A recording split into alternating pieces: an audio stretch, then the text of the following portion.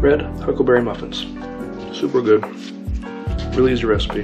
Find yourself some red huckleberries. Maybe let it cool, or be a savage like me and don't let it cool.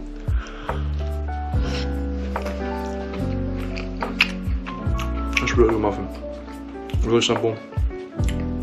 Really quick to put together. Longest part, finding the huckleberries.